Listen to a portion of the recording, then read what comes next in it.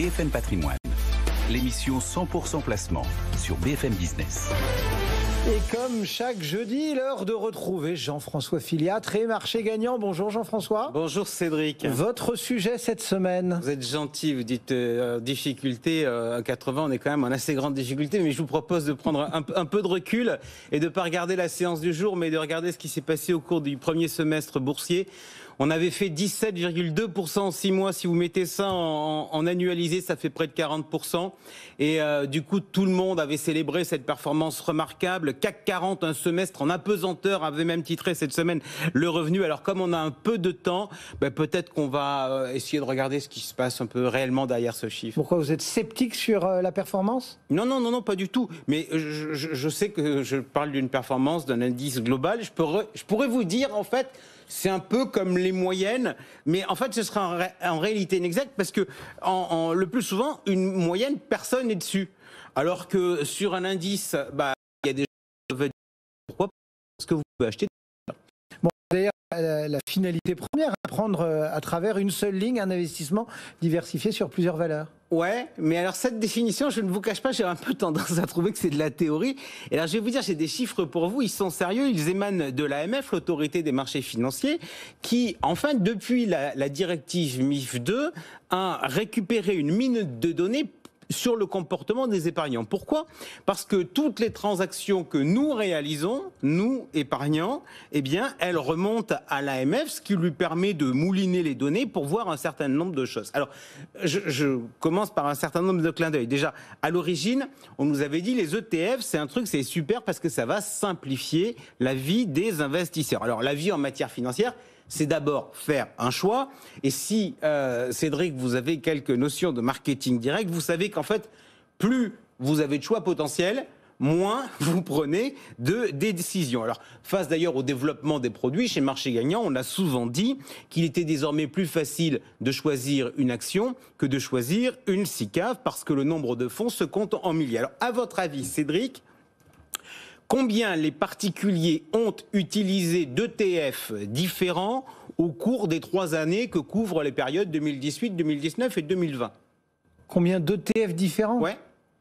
Pouf, euh, je sais pas, 200, euh, 300 Eh bien, mon ami, je vous le dis, vous avez raison, mais il faut multiplier votre chiffre par 10. Ah en pratique, les particuliers ont, au cours de ces trois années-là, utilisé 2995 ETF différents. Sachant, je précise, qu'il y a un peu moins de 500 sociétés qui sont cotées sur Euronext Paris. Et là encore, pardon, mais je suis pas sûr qu'on ait gagné en simplicité. Mais bon, l'étude de l'AMF, elle est intéressante sur un autre point. Pourquoi? Parce que vous avez beaucoup d'ETF qui ont été utilisés, mais en pratique, les transactions sont concentrées sur quels ETF Et puisqu'on est en train de jouer, à votre avis, quelles sont les caractéristiques des ETF les plus traités? Je vais avoir tout faux de toute façon ce matin. Visiblement, vu déjà que je suis parti sur la mauvaise piste à la première question. Euh, je ne sais pas, une indexation sur le CAC, non? Ou sur le Nasdaq?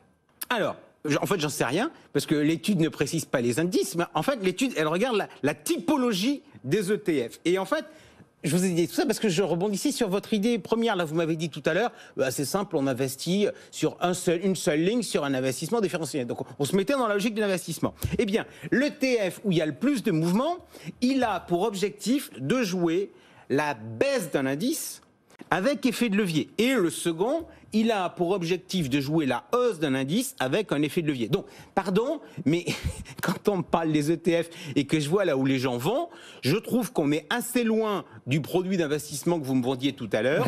Et dans la terminologie de marché gagnant, ces produits relèvent plus de la spéculation que euh, du mode investissement en mode père de famille. Vous avez un peu dérivé là, c'est l'esprit des vacances qui euh, vous fait dériver. C'était quoi le truc initial? On parlait du bilan boursier, non? Bilan boursier. Allez, on y revient.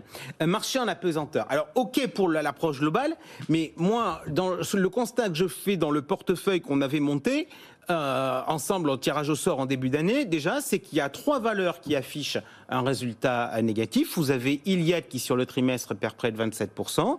Vous avez CGG qui est à moins 7%. Et vous avez Orpea qui est à moins 0 et des poussières, mais en tout cas qui est en territoire négatif. ça, on le sait. Dans un marché, même euh, qui a une direction, il y a toujours quelques euh, petits canards qui prennent une autre direction. Voilà. Mais alors, le sujet, c'est est-ce que c'est quelques petits canards ou est-ce que c'est des, des, choses un peu, un peu plus larges? Alors, d'après les stats de marché gagnant qu'on fait à partir de, qu'on a fait à partir de notre panel, il y a trois secteurs qui n'ont pas passé un bon premier semestre et qui affichent des scores négatifs en moyenne. C'est les télécoms, les services aux collectivités et l'énergie. Donc il n'y a pas que Iliad qui souffre? Non. En fait, dans le secteur des télécoms, on a trois valeurs. Alors certes, on a Eutelsat qui affiche une avancée de son cours de, 6%, mais franchement, 6%, si vous considérez que le marché est à 17%, bah, ça veut dire que euh, si vous aviez cette boîte-là, ça pèse quand même malgré tout sur votre résultat. On a Orange qui est légèrement négative en variation de cours légèrement positif si l'on tient compte du solde du dividende qui a été versé. Quant à Iliad, je reviens pas dessus, on a vu, c'est en baisse. Bon, vous nous avez parlé aussi des services aux collectivités. Oui, et en fait, vous savez, l'approche qu'on a retenue fait qu'on ne tient pas compte de la taille de la société. Et pourquoi on fait ça? Ben, Tout simplement parce qu'on euh, on a autant de probabilités d'acheter une boîte qui est grosse que d'acheter une boîte qui est, qui est moyenne. Et ça, ça nous permet de voir des choses qu'on ne voit pas euh, via les indices traditionnels qui sont pondérés par les capis. Alors, sur le créneau du service aux, collectivités, qu'on appelle dans le jargon anglo-saxon également les utilities, euh, alors vous avez les deux boîtes qui sont les protagonistes du dossier Suez-Veolia qui mhm. vont bien avec des progressions qui sont supérieures à 20%. Euh, Veolia, par exemple, que vous ayez tiré dans le portefeuille au sort, a tiré la performance du portefeuille vers le haut. En revanche, tout le reste du secteur, eh bien, il est clairement à la peine. On a notamment un recul de près de 2% pour EDF et le mouvement est encore plus fort sur les deux autres boîtes qu'on a dans le secteur, c'est-à-dire Voltalia et Neoen. Bon, donc pour le secteur de l'énergie, baisse généralisée ou au contraire il y a une différenciation? Alors le secteur de l'énergie, sur la composition, il est assez proche du secteur du télécom. Pourquoi? Parce qu'on a trois valeurs et en fait, on a la même chose à peu près que sur les utilities, c'est-à-dire un marché qui est très fragmenté. Vous avez Total Energy qui est devant, avec une avancée qui est quand même inférieure à 10%. Donc c'est pas bon par rapport au CAC 40. Et vous avez euh, GTT et CGG qui sont eux dans le rouge, avec notamment moins 14 pour GTT. Donc assurément, il n'y a pas que des gagnants sur le premier semestre. Bon, mais il y a quand même des gagnants. Ouais, il y a quand même des gagnants. Il y a un secteur qui survole clairement les autres. Et au passage, c'est d'ailleurs celui qui pèse le plus lourd dans le CAC 40. Ce sont les biens de consommation discrétionnaire, avec notamment les deux titres phares du CAC 40, LVMH et L'Oréal. Le premier gagne près de 30%, le second 20%. Bref, ils ont largement tiré la performance du CAC 40 à la hausse. Ça veut dire que si on n'a pas des titres comme ça, on ne peut pas battre l'indice? Eh bien, On entend souvent dire ça, mais en fait, le portefeuille de marché gagnant euh, a fait pourtant mieux que l'indice sur euh, le semestre sans avoir ces deux titres. Alors, il est vrai, on avait Christian Dior, et Christian Dior affiche la meilleure performance du secteur avec un gain de près de 50%. Si on regarde le reste du secteur, on voit que se sont également très bien comportés Hermès, euh, dynamique très favorable avec une hausse de près de 40%. Kering est un peu en dessous puisque la progression n'est que de 24%.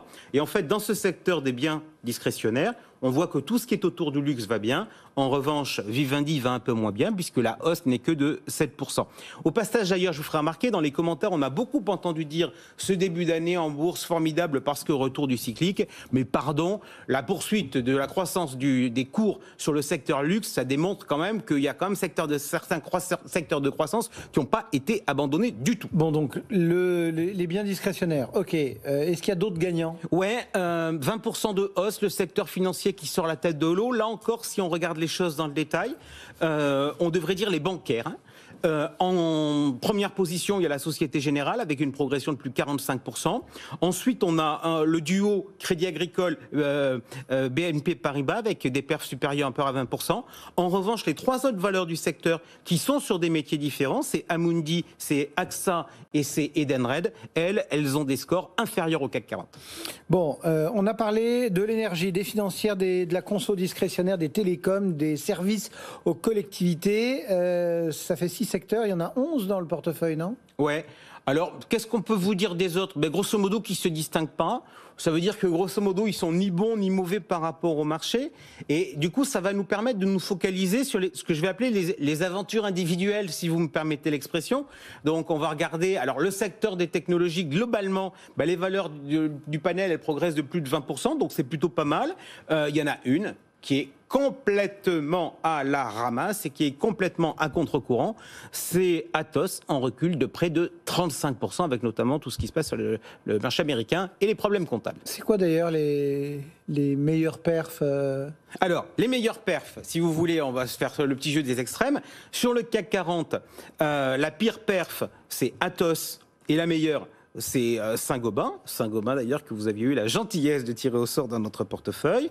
Sur le panel de marché gagnant, la meilleure perf, c'est Christian Dior, qui est dans notre portefeuille. Et la pire, c'est Neoen, qui n'y est pas. En fait, là, je vous fais les meilleurs. Je peux m'amuser à vous faire euh, sur le panel. euh, Il y a cinq boîtes qui affichent une performance supérieure à 40% hors dividende. Pas mal, 40% quand même C'est un bon début. pour un semestre. Alors, ces cinq valeurs, c'est Christian Dior, Saint-Gobain, Eurofin Scientifique, Société Générale et Bell. Vous noterez, on en a trois sur les cinq. Pas mal. Pas mal. Sur les baisses, euh, puisque euh, j'avais pris 40%, je me suis dit, tiens, je vais regarder à moins 20. Il y a trois boîtes qui font une performance inférieure à moins 20%. C'est Neoen, Atos et Iliad. Et on en a une sur les trois. Bon, euh, juste pour terminer, il nous reste quelques secondes. Est-ce que euh, l'été qui s'annonce va être euh, boursièrement chaud? Euh, vous connaissez ma passion pour les prévisions qui sont le plus souvent démenties. Je peux vous dire une chose. L'été sera, et après les temps qu'on vient de vivre, j'espère en tout cas qu'il nous permettra de nous changer les idées.